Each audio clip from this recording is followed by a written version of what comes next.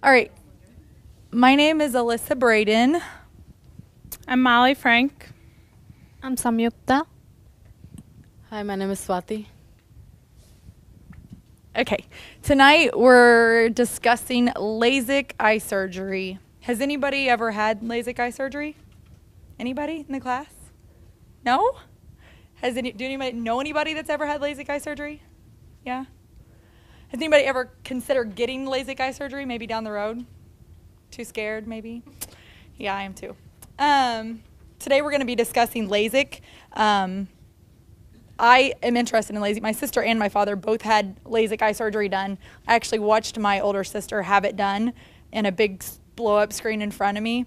So it's it's kind of interesting to me. I'm not quite brave enough to get it done myself yet, but um, it's it's pretty interesting. It's a new technology um, that's kind of been in the making for quite a while. Um, LASIK stands for laser assisted in situ keratomileusis. I don't know if I'm saying that right, but I hope so. Um, it's a refractive type of eye surgery, so it corrects vision problems. Um, so it will eliminate your need for seeing eyeglasses or contacts, um, contact lenses. There, uh, LASIK eye surgery will correct three types of vision problems: myopia, which is uh, being able to only see nearsighted, so you're able to see close up but not far away. Um, hyperopia, which is farsighted, meaning that you can see objects at a distance, but when you get close to them, you cannot see them. And then also astigmatism, which is um, blurry vision. One thing that everybody should know is that LASIK can only be performed by licensed ophthalmologists, so doctors only. Um, and as I've mentioned previously, LASIK eye surgery or laser eye surgery was made possible by a collaborative effort from many different doctors and scientists um, together. Um, it wasn't, it was in 1960 that the carbon dioxide laser was invented outside of laser eye surgery. Um, it later became known as the excimer laser. Um, and then in the 1970s, a Russian ophthalmologist by that name, I'm not going to try that, Fyodorov is the last name, um, he experienced a patient who had fell and got an incision in his eye. So the doctor, with his own hands, shaved off part of the cornea, and they found out that that corrected his vision problem. He did not need glasses anymore in that eye. So that interested the scientist and, or the doctor, I guess he was, and he decided to look more into it. Uh, that specific Russian ophthalmologist did not have the funding to look into it as deeply as he wished he could have. But um, in 1978, American doctors determined that they could use this excimer laser to perform this eye surgery to reshape the cornea to improve vision. Uh, 11 years later, the first human eye was corrected by laser. And then in 1998, the FDA approved the excimer laser to be used um, in LASIK corrective eye surgery. Um, see here. I think uh, that is all. Does anybody have any questions on the timeline of the history? It's kind of just a brief overview of the history of LASIK. Okay. It's almost about 50, 60 years. Yeah, yeah. But I mean, it's it's been around for quite a while. A lot of people were trying to, especially when the Russian ophthalmologist figured it out. A lot of it interested a lot of people to try to figure out how they could correct it. And it, it's interesting to me the history of it because the first guy, that Russian ophthalmologist, did it by hand. I can't even imagine. You know how shaky you are letting somebody come close to you with a razor blade close to your eye to, to do that. So it's pretty interesting. Hi friends, I'm here to talk about the procedure, how this LASIK actually uh, takes place. Like uh, these are the tools they use, the excimer laser, corneal topographer, suction ring, microkeratome, aberrometer. Uh, so uh, I better explain it when I'm telling the procedure, but uh, let me show a video, what technology they use.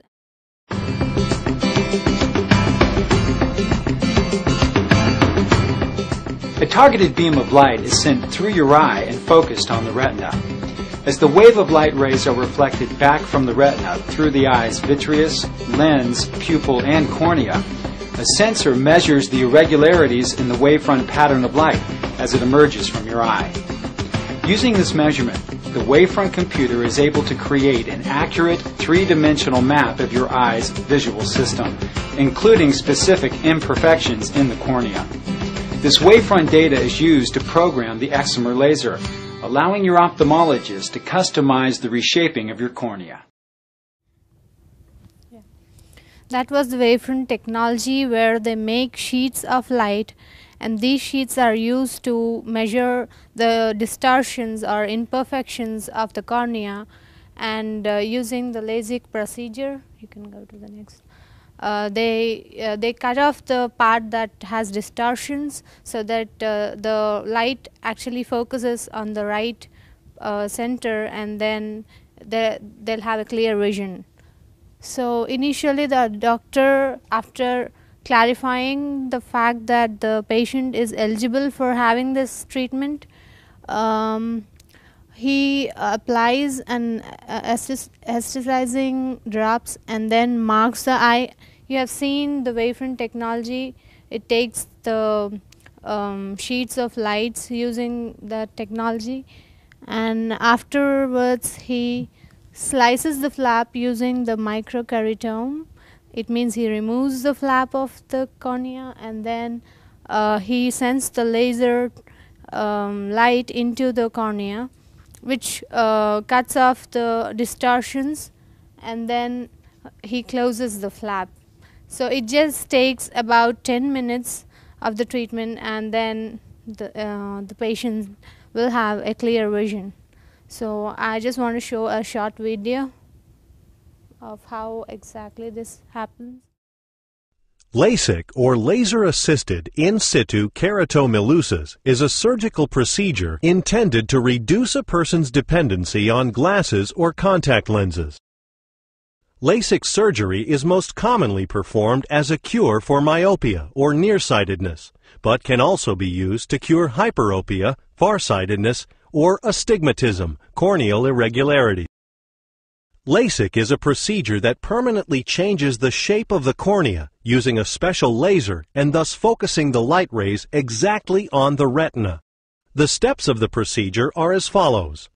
A suction ring is placed on the eye to stabilize and check the eye pressure. The microkeratome, a cutting instrument, is attached to the suction ring. The blade of the microkeratome is used to cut a flap in the cornea. The exposed inner layer of the cornea is then reshaped with an excimer laser. The corneal flap is returned to its original position. LASIK is an ambulatory procedure. The patient can walk into the surgery center, have the procedure, and walk out again, and is awake the whole time. Occasionally, the doctor may administer a mild oral sedative. So it's so simple, friends. Not really for the patients, but then let's hope. I want to get it done after reading all this. So I'm impressed. Uh, you would or you would not? I would. I would. Okay, here are some common steps that need to be taken before you decide to have LASIK done. Um, one of the first things is you need to make sure you're a good candidate, which they say that you should be at least 18 years old because when you're younger, your, the shape of your eye can still change. So the older, the better. Um, you need to have stable vision and no infections for at least a year before you can have it done. So then you have to go in and have an eye examination done. Doctor checks everything out, checks your medical history, and tells you whether or not you'd be a good candidate. And you have to quit wearing your contacts in advance. I think it said if you wear the hard contact lenses, you have to stop wearing those four weeks before surgery. If you wear the soft one, it's only like two weeks before. So um, you're not allowed to wear any makeup because they don't want anything to get in your eye as they're doing the procedure. And no hair accessories because as you lay on it, it gets in the way and your head doesn't lay flat. Um, after the surgery, you have to use eye drops for a while to make sure that you don't get infection. And then you'll have a follow up appointment with the surgeon a day or two after surgery, and you'll have to go see them like on a regular basis for about six months. Uh, some of the advantages of LASIK, uh, the results can be seen right away. Um, I've heard of people like that day they leave and they still kind of have blurry vision, but you can tell that your vision is better. Um, it's a very fast procedure, and usually no more than a half an hour, but most of them it says takes five to ten minutes. Um, it's very accurate because it's done by computers, so that's also what makes it fast. Um, usually, you don't need your glasses or contacts afterwards. They said once in a while you still do, but if you do, your prescription drops drastically. Um, without having the glasses or contacts, it saves you money on buying those, and it also saves you the hassle. Um, every time you go on a vacation, you have to make sure you have stuff for your contacts or make sure you have your glasses along. And different sports and stuff, it's easier without contacts or glasses. Um, it also says that it increases self confidence. Um, there were examples of when you go out, if you aren't able to see as well as others, you may not want to like get involved in that activity, such as like going to the movies. If you're not going to be able to see very well, you may not want to do that. So your self confidence is increased. You're more likely to be more social and you can also enhance the results later on if needed. So if you don't get the exact results that you want right away, it can be fixed later on. Uh, I don't know about that. Hi. Uh, yeah, the disadvantages of LASIK treatment. Uh, sometimes uh, the surgery is like more uh, overcorrected or undercorrected. Now, like in most of the cases, the first surgery is uh, gives a clear vision, but sometimes you need a second surgery, which is called as enhancement. So this enhancement can be done if the cornea tissue is very thin. So um, this is a uh, disadvantage, and very few cases, you sometimes need contact lenses or glasses. Uh, in cases where the lenses loses its ability to focus, and uh, sometimes the result may not be permanent. This can be seen in patients having farsightedness, and uh, some may experience visual aberrations like uh, double vision, hazy visions, fluctuating visions and uh, increased sensitivity to light, glares, halos, um, and sometimes it causes eye dryness. Eye dryness is uh, the redness or the burning sensation, and uh, sometimes it is the tearing of the upper layer of the uh, eye. And in very rare cases, you lose the vision totally but that's a very rare case. how are you? no, risk is always there in every technology. Yeah, right. So I don't want to back Yeah. So these are the risk, risk factors any doctor looks for patients before the surgery. Uh, high prescriptions, like if a person is um, like if he has a very high uh, farsightedness or short-sightedness, then he, he, is not a good candidate to uh, perform, you know, to undergo to the surgery, uh, because mostly in the surgery it involves removal of uh, corneal tissues, uh, and uh, the other reason to be considered is the thin corneas like uh, if a if for any patient the thickness of the cornea is first measured and if the thickness is very thin then it's not safe for the person to go through this surgery because it actually involves removal of corneal tissues to correct the error. And uh, yeah abnormal corneal curvature. Before the surgery, a person, person has to go through the measurement of his corneal shape and curvature. And if it is like any other normal person, then he's a good candidate to go through the surgery. And and dry eye, if a person already have a dry eye, as in my case, so it's good if I don't go through the surgery. yeah, and a large pupil. Um, patients with large pupil may be more prone to noticing the halos and glares. So, you know, the measurement of the pupil size is important before a person goes. Uh, I mean, if he like to have a surgery. So that's it. Okay, questions or comments? A microphone with Wes. Or where it is. Any questions or comments? Okay, microphone please. Microphone with me or with somebody? Another one? Give it to you. Oh, give it to me. I gave it to you to the left. It's right back there on my Okay, come on. So, we pass it around, please.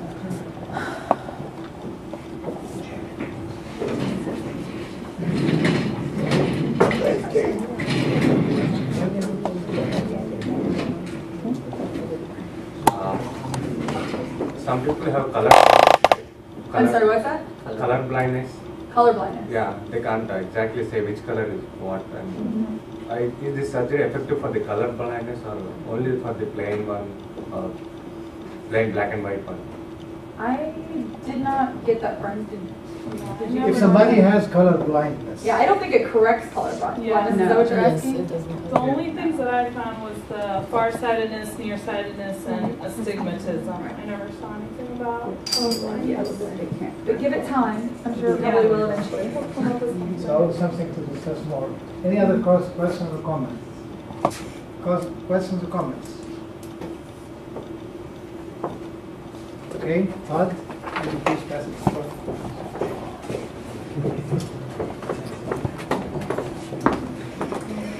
Um, how much does the surgery generally cost? And is it covered by insurance? It, I do not believe it's covered by insurance. Is it considered like cosmetic? I or- guess it would be. plan. Yeah, mine I know, mine is not, neither my sister nor my father were, but I think it used to be around five thousand dollars for both of them. I think a lot of it Some of it. depends on what your initial eye exam shows and like how much work they have to do and. I think it's going down a lot, like you can get, find places, discount Hmm. laser eye surgery for like fifteen hundred dollars an eye. I don't think I try that, but payments of twenty-nine dollars. One here, please. Back in India, it was fifty thousand. It's cheaper in Canada. Okay, another question? I got a good question for you. You showed the flap of the retina being open and closed. Yes. When it's closed, is it somehow Yeah, like, uh, band-aided back together somehow? no, they say that, uh, the flap takes uh, only few minutes to, uh, um, fix up and, uh, yeah, it, it takes very few minutes to So it's fix like up. self, Yeah. so it's they like put self-healing. some, yeah, they put some drugs so that uh, it's again, it's normal again. So, yeah, that should not be a No, problem. Very good. Well, one more question, if any. If not, let us give them a hand, please.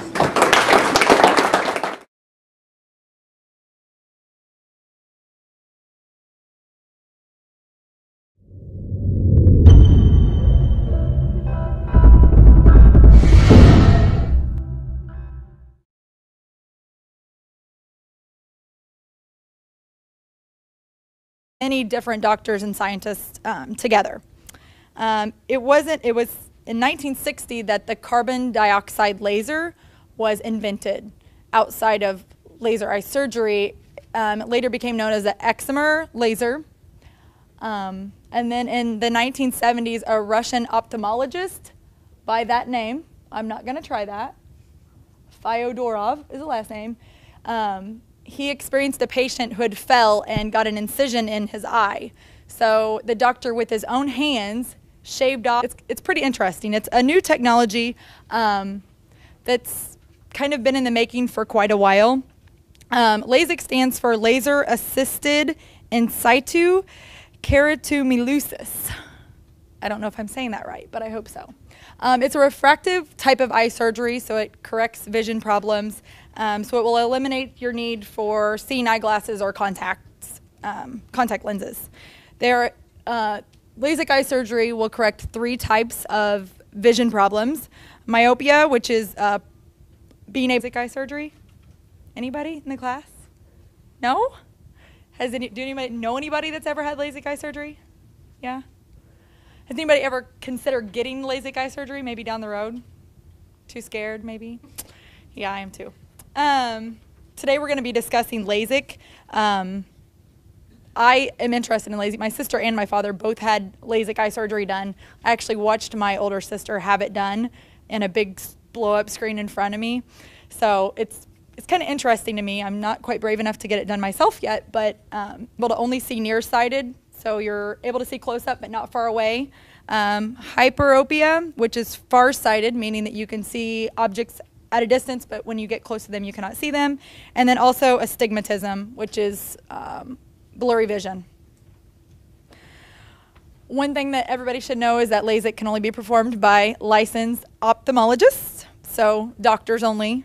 Um, and as I mentioned previously, LASIK eye surgery or laser eye surgery was made possible by a collaborative effort from many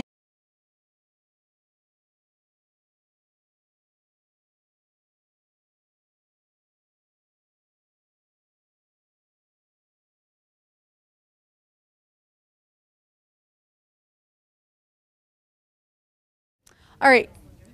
My name is Alyssa Braden. I'm Molly Frank. I'm Samyukta. Hi, my name is Swati. Okay. Tonight we're discussing LASIK eye surgery. Has anybody ever had LASIK?